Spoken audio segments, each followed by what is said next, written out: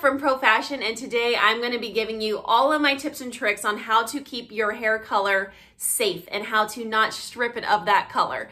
Because let's be honest, you spend a lot of money on coloring your hair and you want it to stay looking fresh. You want it to stay glowing and looking good. So I'm gonna give you all of my tips and tricks on how to maintain your hair color, how to care for it. So let's get right on into it. Now, first up, let's talk about your pre-hair dyeing process.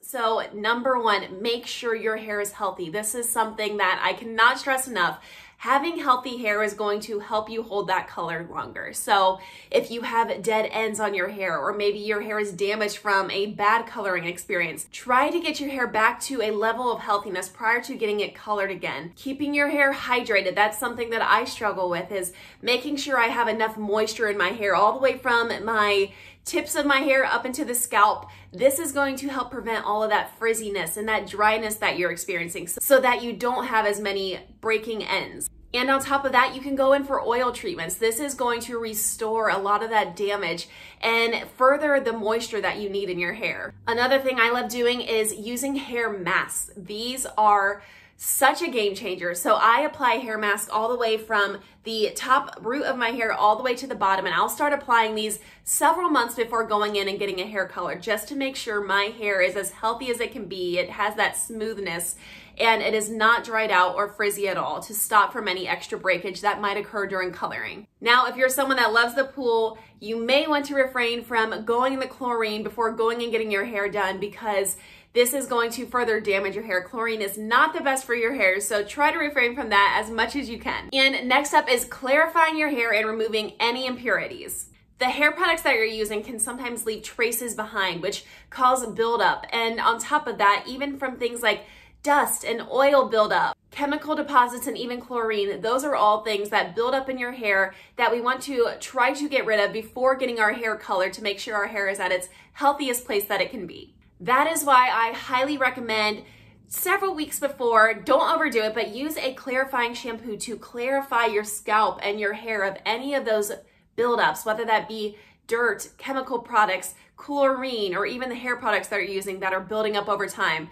Try to use a clarifying shampoo off and on just to clarify your hair and your scalp of those unwanted traces. And third, treat your damaged hair before going in and having it colored. I know this sometimes can be a challenge because we want that specific color on our hair, but I can tell you treating healthy hair is going to turn out much better than treating any sort of damaged hair. Now to help prior to your appointment, you may want to do some protein treatments to your hair. This is going to help restore it and rebuild it up before having your hair done. So protein treatments are going to be perfect for you. Now, say you have gotten your hair colored, let's talk about those next steps. Let's talk about that post hair dye experience and what you can do.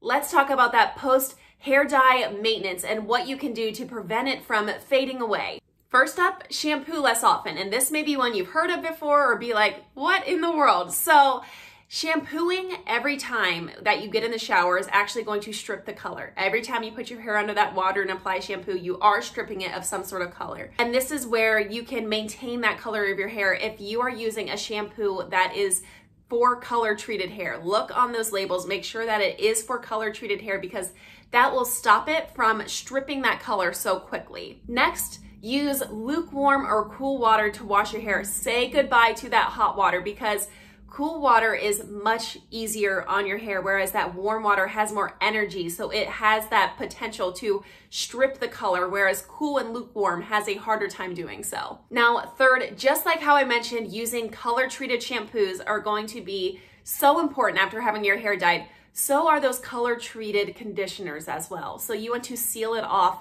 in the best way that you can. So I highly recommend finding a good color treated conditioner. This is going to give you that shine while also making sure that you're not stripping your hair of that color that you just had done on your hair. Now, number four, refrain from any heat styling that you can. I know this one can be so hard. We all know that heat can cause damage on our hair, which is going to not allow us to hold on to that color as much as we would like. But if you are going to heat style your hair, make sure that you're using a protective layer. So apply a heat spray beforehand just to give it that layer of protection before going in and doing so.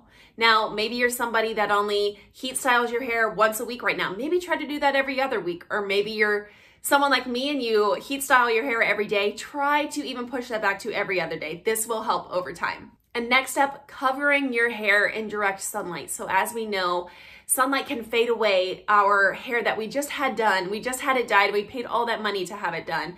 So maybe throw on a hat or throw on something to protect your hair or try to not go out as much just as like with your skin. Try to avoid the direct sunlight unless you have to. Tip number six, you could use a re-dyeing conditioner. This is something that I do with having blonde hair.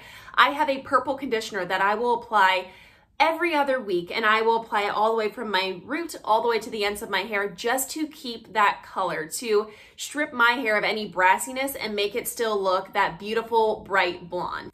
Number seven, making sure that you're providing the nourishment that your hair needs, whether that's through a healthy diet, staying hydrated, giving your hair oil treatments, do what you can to have the best hair before having it dyed and even after. Number eight, using supplements. Some vitamins like vitamins B and C are actually going to help strengthen your hair, whether that's directly applying those to the scalp and allowing those blood vessels to really strengthen the hair, allow it to grow or whether you're taking that in a pill form as well. Vitamin B and C are perfect for you ladies that are getting your hair dyed. Number nine, do not stop trimming. I know this is such a tough point for a lot of us ladies because we think that our hair, if we just keep trimming it, it's going to take forever for it to grow.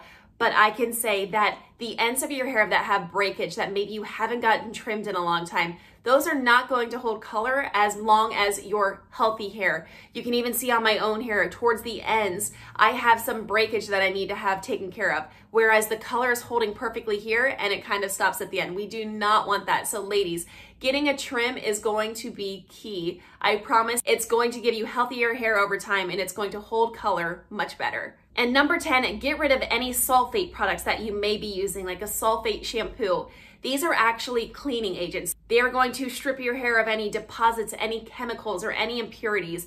And the last thing we want is to strip any moisture from our hair because we want that hair dye to last. So number 10, remove those sulfate products from your regimen. Now those are my tips and tricks for you on how to maintain your hair both before and after. Make sure to let us know if you have any questions at all and we look forward to seeing you in the next video.